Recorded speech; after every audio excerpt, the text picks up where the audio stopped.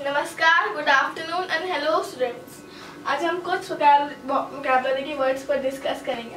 उनमें से फ़र्स्ट है वोपिंग वोपिंग का मीनिंग है हमारी नज़र में बढ़ा। जैसे कि हमारी नज़र में हम जिस एंगल से देख रहे हैं, वो हमारी नज़र में बढ़ है। और फिर सेकेंड है ऑटो डिएक्ट ऑटो डिएक्ट का मीनिंग है सेल्फ एजुकेटेड पर्सन मैं आपको उसको ज़्यादा इन दोनों वर्ड्स को ज़्यादा एक्सप्लेन नहीं कर कर इतना एक्सप्लेन करती thank you hello dear students and friends मैं आपके समक्ष पुनः कुछ वोकेबुलरी के वर्ड्स लेकर के उपस्थित हूँ। आपसे केवल मेरा यही सुझाव है, विनती है, प्रार्थना है कि ये जो मैं वीडियो बना रहा हूँ तो मैं प्रत्येक दिन पाँच छः सात वर्ड्स आपके सामने पेश करता हूँ। और ये पाँच छः वर्ड्स ही नहीं है, ये पाँच छः एक दृश्यमान है, एक अलग अलग अपना इनका संसार है।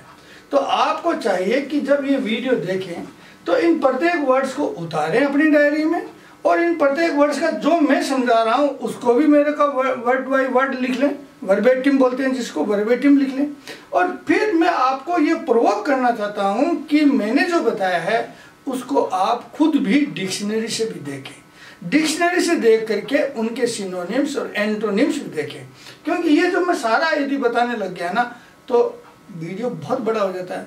और वीडियो का टाइम देखते ही, और ये तो तीस मिनट का तो स्टूडेंट होता है, देखे ही नहीं। तो मैं केवल एक सीडिंग करता हूँ। जर्मिनेशन की कार्य मैं करता हूँ। उसको प्लांट को फुल फ्लेश ट्री बनाने का काम मैं आपसे आशा करता हूँ, ताकि अपन दोनों मिल करके आपको अंग्रेज़ी सिखा सकें। तो चलो मैं शुरू करता हूँ, देखो। पहला ही पहला वर्ड है प्री पोस्टरस प्री पोस्टरस अब इस वर्ड की यदि इटाइमोलॉजी देखते हैं ना इसके इटाइमोलॉजी देखते हैं फ्रेंच इटाइमोलॉजी से बना हुआ ये पड़ा है कि प्री है, पोस्ट है। यानी पोस्ट जो है वो पहले आता है और प्री बाद में आता है। यानी ये जो कोई भी घटना घटी है, उसको यदि आप कहते हैं कि प्री पोस्टरस है, या कोई स्टेटमेंट आपका किसी का प्री पोस्टरस है, या किसी का सजेशन प्री पोस्टरस है तो हम कहते हैं कि इसके, इसमें हँसी के अलावा कुछ नहीं है। ये बेहुदा है रेडिकुलस है, और ये लाफेबल है। क्यों लाफेबल है?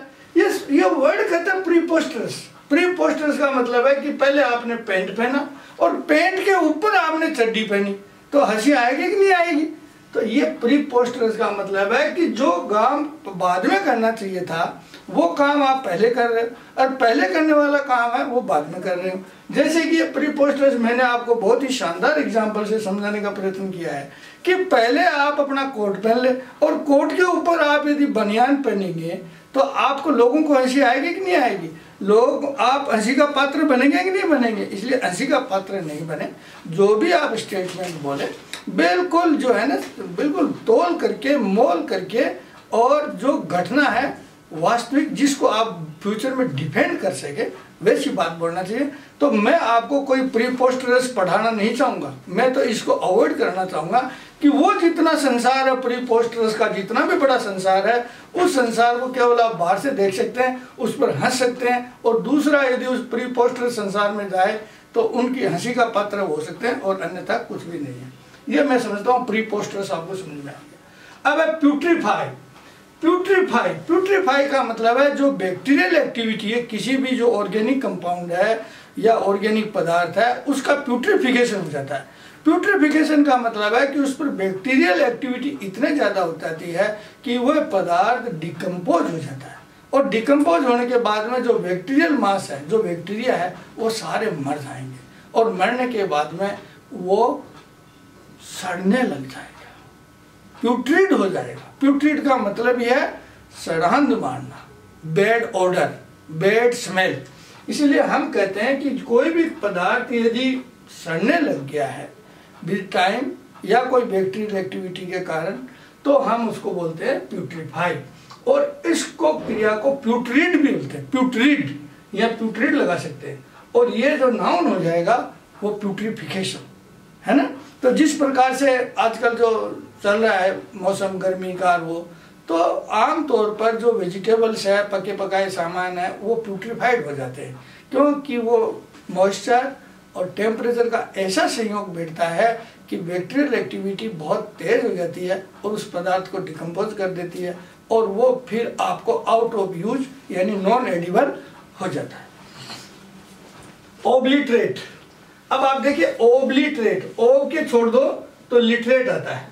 ओब लिटरेट यानी जो लिखा हुआ है, उसको मिटाना। लिटरेट का मतलब लिखा हुआ है ओब्लेट में लिखा हुआ।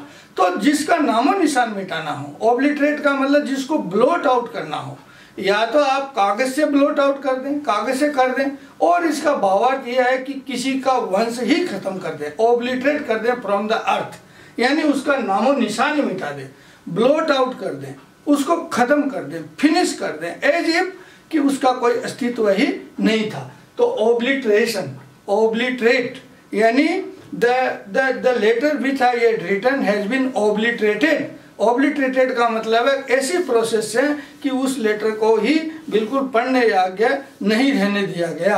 या कोई परिवार है, कोई स्पीशीज है, उसको यदि हमने उस एनवायरनमेंट से समाप्त कर दिया एक्सटेंशन कर दिया उसका तो हम कह देंगे कि दिस हैज़ बीन ओब्लिटरेटेड तो ओब्लिटरेटेड का मतलब है समाप्त करना। ना वो है डिनोव में अब आप इसको डिनोमेंट मत बोल जाना। इसका प्रोनाउंसिएशन नसल है, आखिरी आखिर में। डिनाउ में डिनाउ नहीं बोलना है। डिनाउ में तो डिनाउ में का मतलब है फाइनल रिज़ल्ट कि नतीजा क्या निकला। बस, यानी कोई भी फ़िल्म देखी आपने पात्र है, उसका प्लॉट है। प्लॉट का मतलब उसका जो रचना है, क्या उसका जो जितना भी उसका हिसाब किताब है, वो उसका सारा दिखा करके नोवेल का, फ़िल्म का, कुछ भी हो, उसका डिनाउ में क्या निकला? तो डिनाउ में यानी उसका जो फाइनल रिज़ल्ट है, उसका जो फाइनल निष्कर्ष है, उसको हम डिनाउ में बोलते हैं।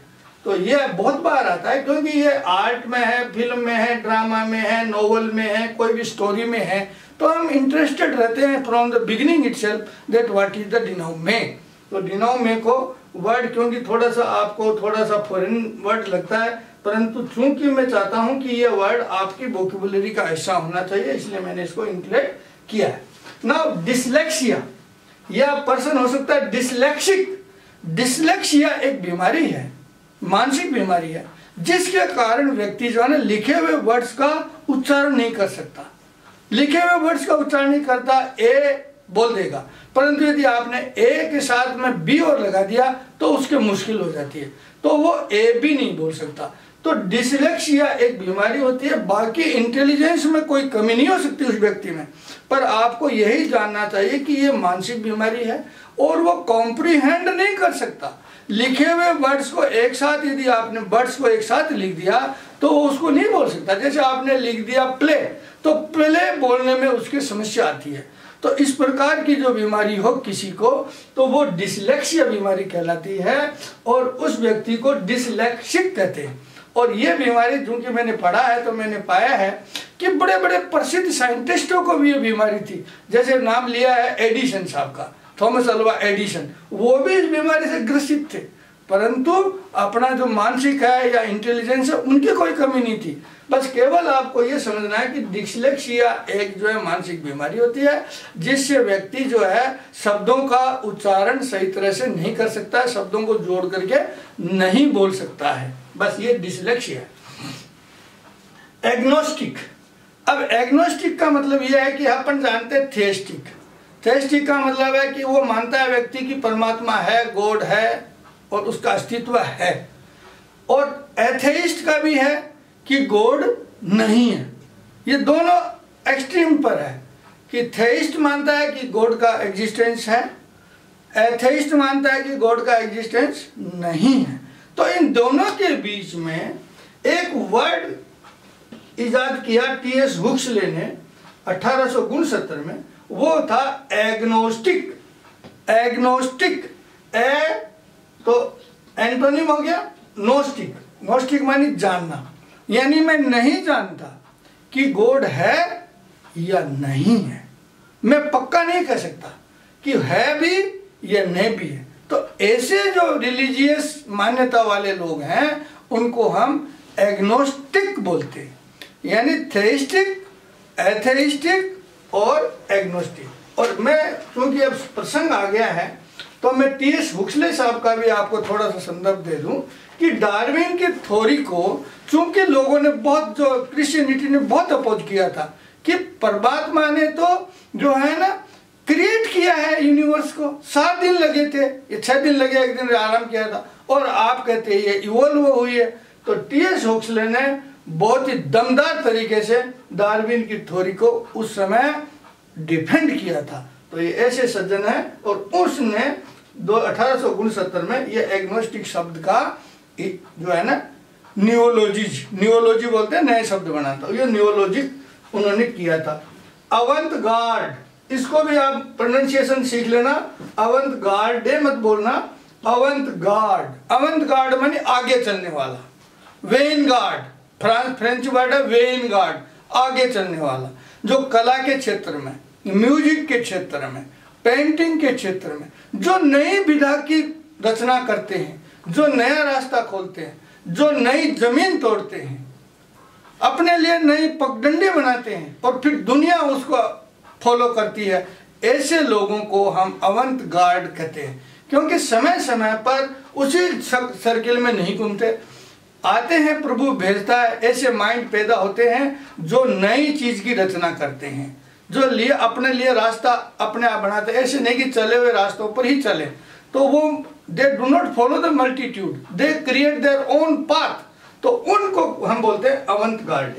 Avant guard. अब गाफ इसको भी आप गाफे मत बोल देना। गाफ गाफ का मतलब है कोई आपसे इस प्रकार की जो है ना, भयंकर गलती हो जाए जिस पर लोग हंसे। है ना? ये एक तरह से इम्बेरिसिंग सिचुएशन आने वाली गलती है। ये गाफ है। वो नहीं करनी है। अब आपका गाप का एग्ज़ाम्पल दे देता हूँ कि जैसे मान लीजिए कि बाप और बेटी जा रहे हैं। बाप और बेटी जा रहे हैं और बेटी के जो है उसका फ्रेंड आ जाता है और वो बोलता है उसको अच्छा आप इनके दादाजी हैं? तो मतलब क्या होगा कि ये एक बड़ा एम्बेरसिंग सिचुएशन हो जाता है। और इसी प्रकार से जैसे महात्मा गांधी थे तो श्रीलंका गए थे। तो श्रीलंका में जो है ना बाबी उनके पास बैठी थी डाइस पर, और गांधी जी भी थे तो जो श्रीलंका की जो सज्जन थे ना, वो जो इंट्रोडक्शन करा रहे थे सबका तो वो कहते थे कि हमें बहुत खुशी है कि आज महात्मा गांधी बापू भी आए हैं, और उनकी अम्मा, अब्बा भी, उनकी अम्मा भी आई है, आज हमें बड़ी खुशी है। तो इस प्रकार के जो जो प्रेजेंटेशन है, वो गाप की गाप की परिधि में आते हैं तो ऐसे जो है ना एम्बेसिंग सिचुएशन को यदि पैदा हो जाती है तो हम उनको गाप बोलते हैं। तो मैंने आज आपको ये थोड़ा सा सारांश रूप से बताने की कोशिश की है। आशा करता हूँ कि आप इन शब्दों को अच्छी तरह से ना हृदंगम करेंगे, और यदि नहीं समझ में आया है तो आप कमेंट सेक्शन में लिखेंगे। मैं पुनः उनको जो है ना, बहुत अच्छा क्लियर करूँगा। परंतु ये नहीं होना चाहिए कि खाली आँखों को, कानों को सुन लिया और थोड़े से हंस लिए और फिर वीडियो पूरा सुना हुआ कर लिया।